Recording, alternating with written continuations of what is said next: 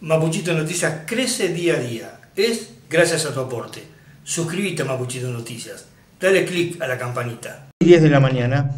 Bueno, te cuento, seguramente esto va a ser un, editorial selectivo, diría yo, pero no puedo eh, no hablarte de este tema, por lo menos aquellos que nos gusta el automovilismo y que lo seguimos este, frecuentemente, y no tan solo en las carreras del domingo pero este, a mí me, preocupa eh, y creo que de alguna manera eh, nos hace alejar de la posibilidad de querer valorar, ponderar bien, eh, querer seguir mirando automovilismo en la Argentina, porque evidentemente hay hechos que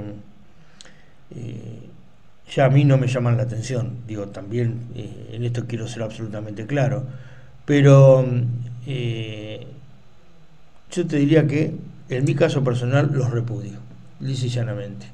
Primero, conflicto CDA a CTC. Tienen de, rehenes a los pilotos, tienen de rehenes a los equipos. Ahora, con el poder económico que tienen los equipos, con el poder económico que tienen algunos pilotos, eh, ¿por qué no se juntan? ¿Por qué no eh, aunan criterios? Pilotos, eh, mecánicos, empresarios, sponsors, dueños de equipos, y hablan con la gente de la CDA y hablan con la gente de la CTC y le dicen, muchachos, si ustedes tienen una riña institucional, si ustedes tienen un problema, es de ustedes, no es del automovilismo en sí mismo. Porque acá estamos hablando de la confrontación, eh, de a ver quién tiene más poder. Creo que no cabe ninguna duda que el poder lo tiene más acá en la CTC. Creo que la CDA está, la CDA está cada vez más eh, menguada, más disminuida, eh, y solo le quedan algunas referencias importantes como puede ser el propio ACA o la Federación Internacional del Automóvil, porque después hacia el panorama interno creo que está absolutamente debilitada. ¿eh? Entonces ahora te encontrás, el último caso creo que es el de Bernie Schaber, que le dijeron, si corres en el turismo nacional, no puedes correr en el TC2000. ¿eh? Este, ¿Y qué culpa tienen los pilotos de, estas confrontaciones que además no conducen a nada? Eh, conducen a que la CTC se está quedando con todo el mercado eh, vinculado al deporte motor. Ya está agarrando categorías zonales también.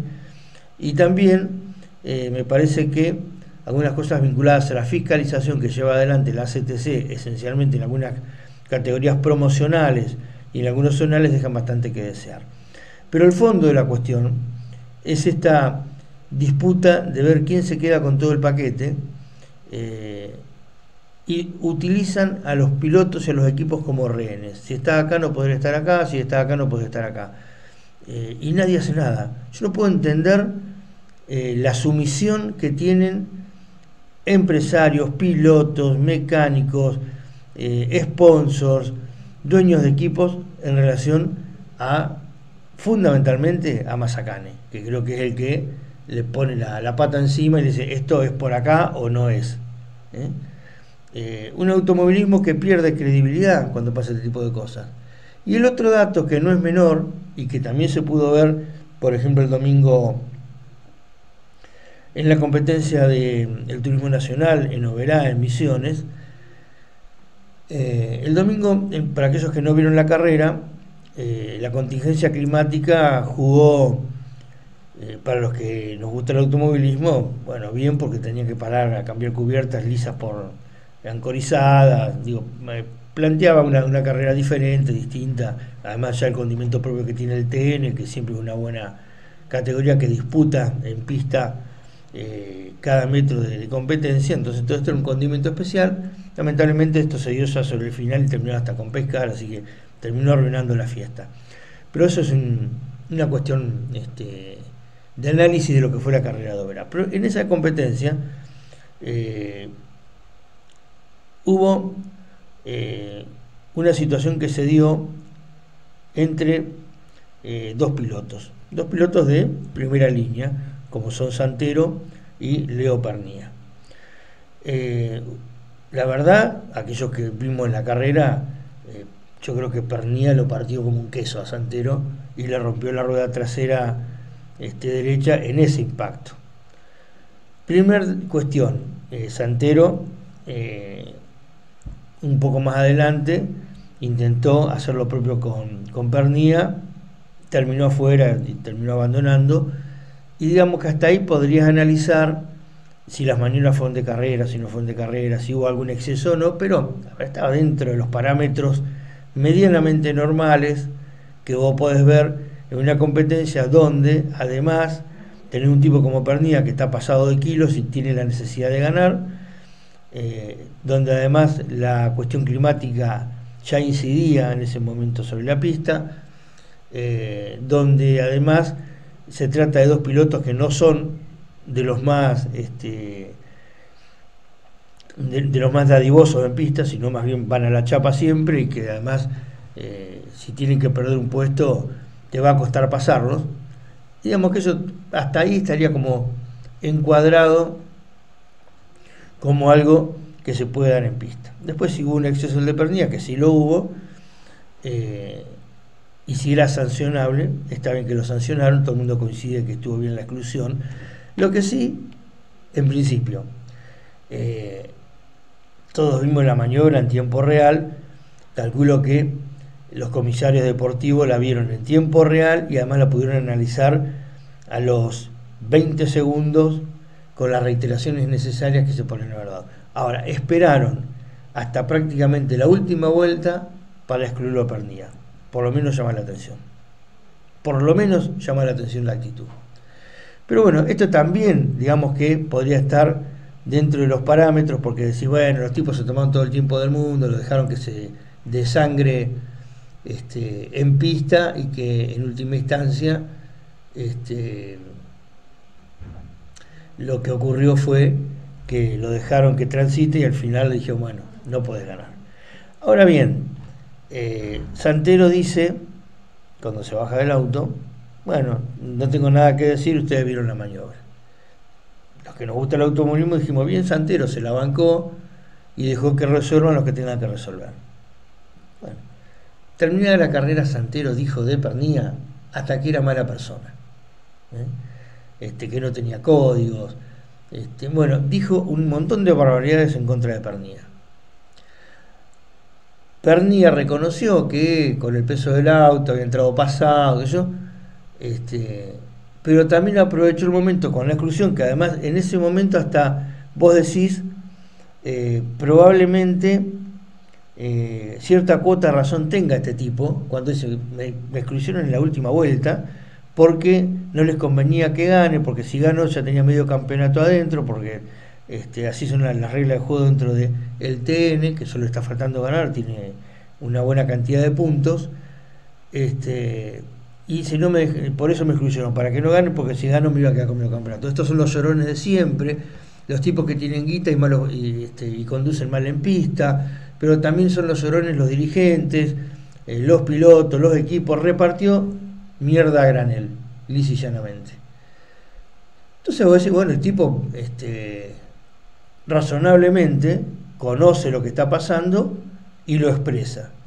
Entonces sí, bien por perdida se la jugó, puso blanco sobre negro y está desnudando dentro de la categoría algunas situaciones que vos entendés, interpretás, considerás que algo de eso puede llegar a ver, pero como no estás dentro de la categoría, por más que hables con gente que está ligada a la categoría y tengamos amigos tanto en el TN como en otras categorías, hay un run run siempre de algunos manejos que eh, van más allá de lo deportivo. Pero es el run run, nunca lo podés terminar certificando. Entonces cuando Pernilla lo dice, sí, bueno, que capo este tipo, la verdad se la jugó y eh, en buena hora que haya alguien que desnude este tipo de situaciones. Bueno, ahora bien, eh, Pernilla hace declaraciones posteriormente en Carburando, eh, este, con Leo Regueira y también estaba González Rouco hijo. Bueno, ahí también Pernía más o menos sostiene lo mismo que estaba diciendo, por ahí atenúa un poco el tema de lo de mm, Santero, pero por otro lado le agrega un condimento aún más contundente cuando vuelve a referirse a Gómez, el mecánico dulcera, donde dice, todavía tengo que ver en los circuitos a este tipo Gómez, dice, después de lo que pasó en Viedma, donde me pegaron cuatro balazos, eh, y además ahora cuando tenga que ir a correr a Trelew, porque según él la final del TN va a estar en Trelew, que había pasado en realidad iba a ir a Trelew y, finalmente terminó viniendo a Viedma, eh, por circunstancias que no viene al caso ahora venía a plantearlo, con lo cual este año irían a Trelew. Este, dice, y me imagino saliendo de una curva enfrentando la montaña y pensando que el tipo que me tiró los cuatro tiros en Viedma pueda llegar a estar en ese lugar y si estoy por ganar el campeonato me cagan a tiro de vuelta. Es muy fuerte lo que el tipo está diciendo, porque además en el territorio judicial Bernía no avanzó, está esperando que avance la categoría, que avance la justicia, pero él no aporta demasiados elementos para que eso avance. Eh, y vos decís, bueno, pero de cualquier manera el tipo deja expresado, dijo, la prete que me dieron en Viedma, si a mí me multaron, creo, o el equipo con 350 mil pesos, dice, y al otro nada, dice, cuando realmente la apretada que me comí en Viedma fue monstruosa. Bueno, eh, ¿qué está diciendo este tipo? Bueno, eso no es nada, vos lo escuchás a González Rocco, hijo, y te dice, bueno, ese, circuito no hay que ir a correr más. Y pero dice, no, este año no vamos a ir a Viedma, vamos a ir a Trelew. Este, así que esto que estoy contando, de que creo que el tipo va a estar en la montaña, va a ser en la carrera de Trelew. Ya está anticipando que cree que entre luego va a haber un tipo con una este, con un arma para, este, si está a punto de ganar el campeonato, impedírselo. Eh, pero también puedes encontrar ahí un pernía que diga, está denunciando, lo que no hace en el territorio judicial, lo hace eh, en algunos programas, como es el caso de Carburando. Eh, no lo hacen con todos los periodistas, lo hacen en algunos, en algún sector muy particular, como es el de Carburando. Pero bueno, hasta ahí también va en línea, digo, con lo que el tipo venía diciendo.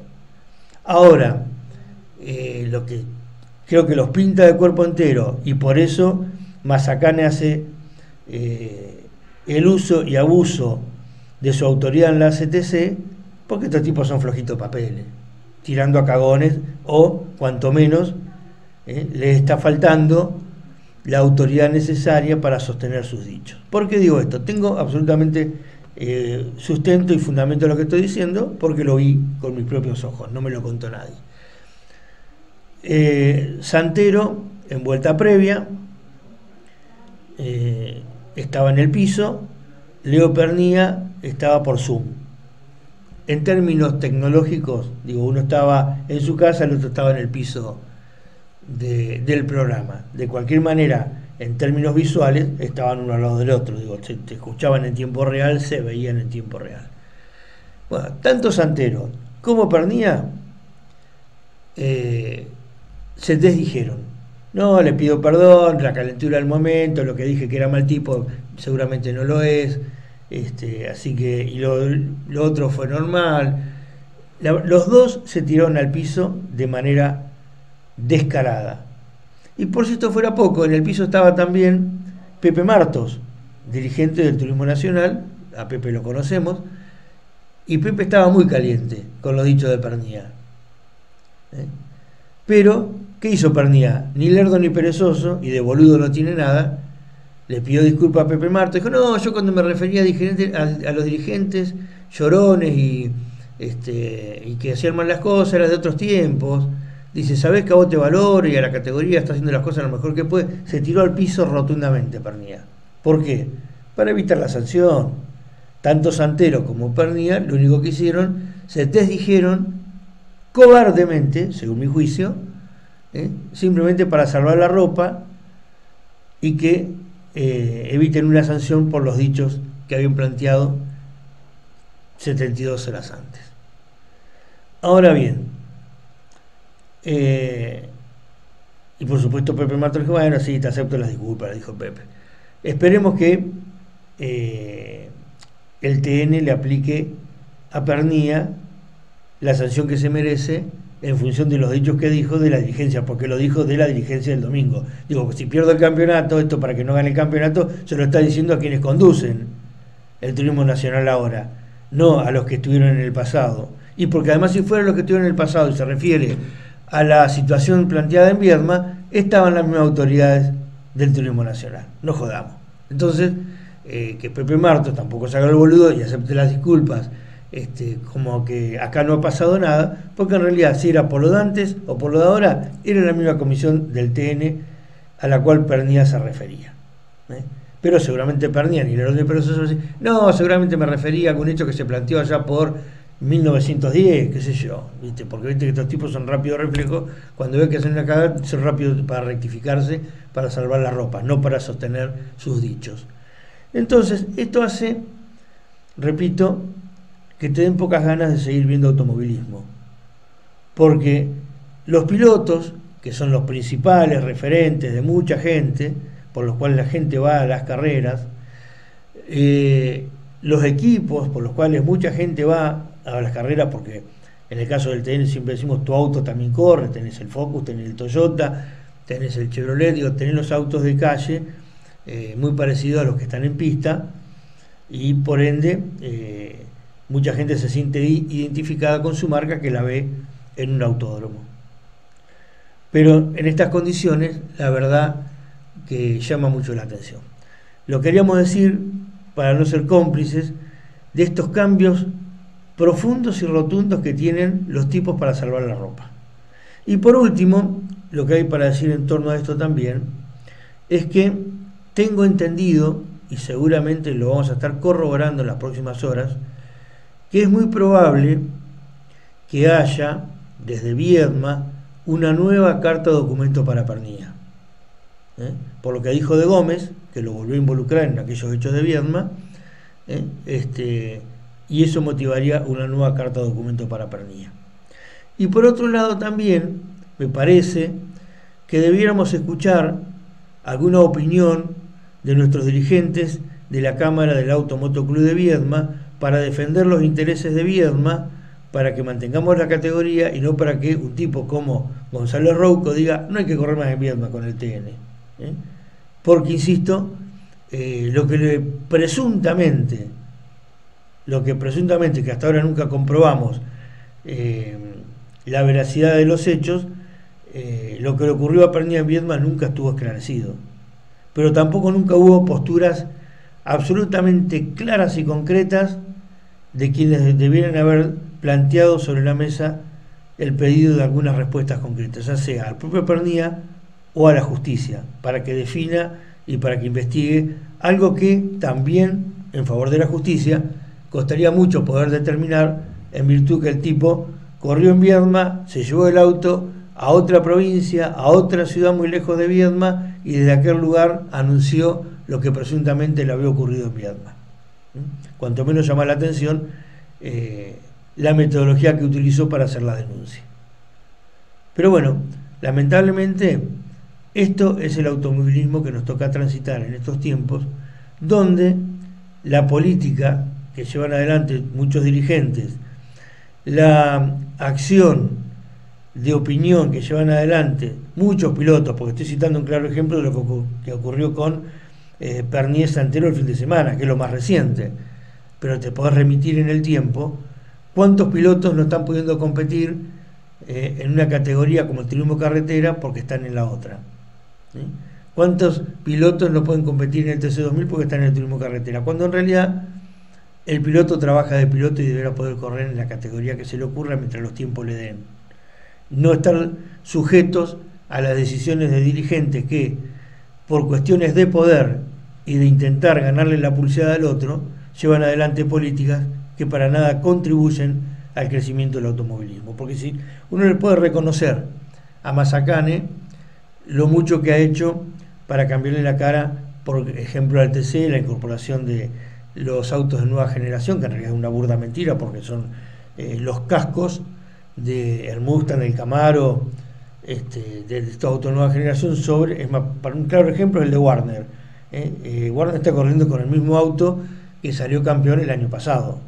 Le, sacaron el, plástico del Ford eh, Falcon y le pusieron el plástico del Ford Mustang. Pero bueno, ponele que le cambiaron los vehículos a la categoría.